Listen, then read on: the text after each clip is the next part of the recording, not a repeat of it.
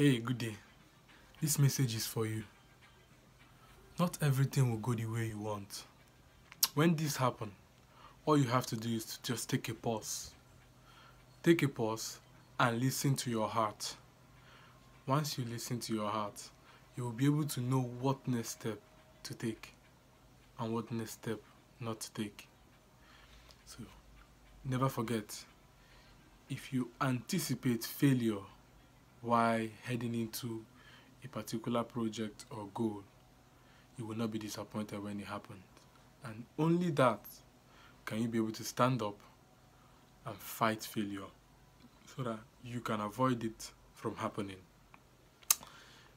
I would like you to share this message so that somebody will hear this and get working.